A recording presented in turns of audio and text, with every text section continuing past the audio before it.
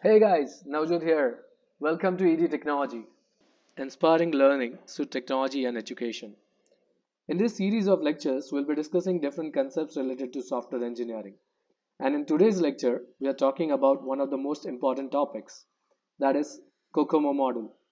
COCOMO stands for Constructive Cost Estimation Model, and it's a very important topic in terms of estimating projects' time, effort, and cost. It has been proposed by Dr. Boehm, who has been very much considered as in the father of software engineering. And this model has played a wonderful role in estimation of different uh, effort cost during the projects and has been used by computer engineers, IT engineers, as well as project managers across the world. So let us see what COCOMO model is.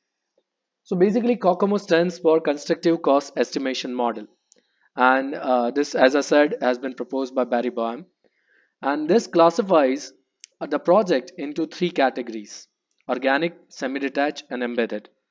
Before this also there were a lot of models such as uh, LOC based model function point metric which were used in order to find out the estimation of the effort as well as cost required to complete the project.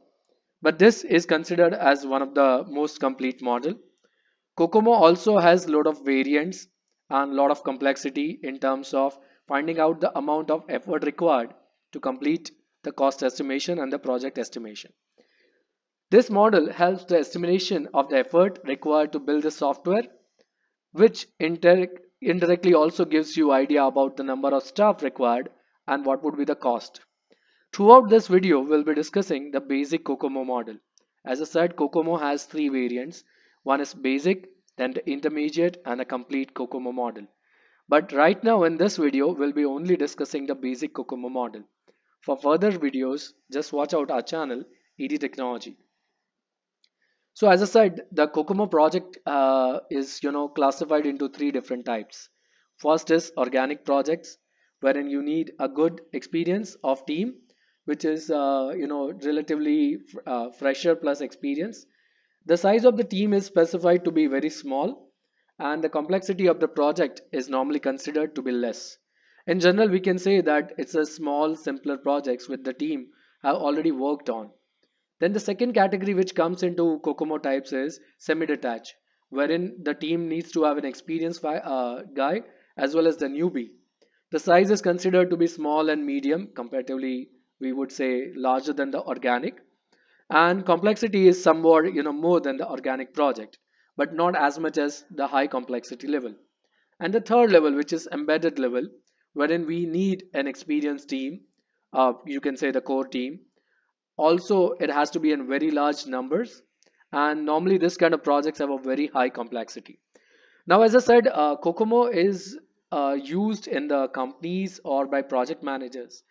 In the estimation of time effort as well as you know the number of people required. Because if you know that if we're talking about a software industry or if we talk about the projects to be handled wherein we use such models so the company does not work on a single project or it does not work on one type of projects.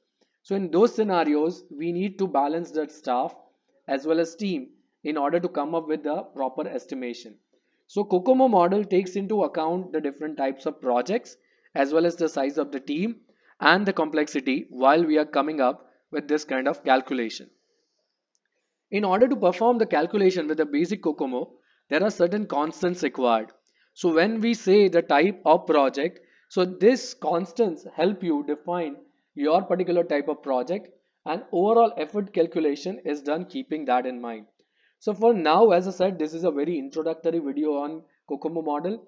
I would suggest you keep up with the values or while you are performing the sums, you just use the values which are normally provided while uh, doing this or you can go online and find this. So there are three different types of projects as you can see in here, organic, semi-detached, embedded and four different constants which are A, B, C and D which values uh, are given here which varies according to the type of the project. And here are the formulas which define how to calculate uh, effort, duration and staffing using the basic COCOMO.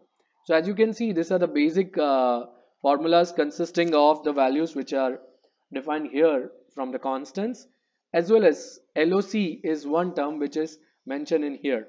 LOC is lines of code which is indirect measure of amount of effort required to code a particular project.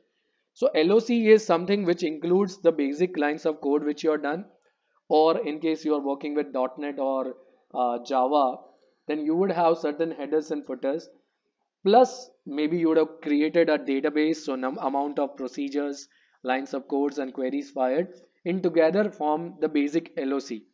This uh, you know calculation also comes through experience. As I said, this is a part of calculation which is performed by project managers. So normally this is known to them or at least have a rough idea how to come up with a calculation for LOC. Also in further videos we'll show you how to calculate LOCs for the projects which are unknown to you. So in here right now you will be given a LOC value which is in kilo. So basically kilo lines of code and then you insert that value and calculate effort, staffing and duration. Here is an example wherein I've taken 200 KDSI or 200 KD KLOC which is 200 kilo lines of code. Based on that and considering that this is an organic project which is a simple project. So I've come up with a calculation as you can see in here you get effort which is calculated here based on this formula. Then we have this uh, duration which is uh, given in months and staffing number of people required for completing this project in the given time. So this is how you come up with the basic calculation of COCOMO model. Also for this we have a simulator which we have created on our website edtechnology.in. You can go online using the formulas you can calculate and the simulator will help you verify the answers which you have done.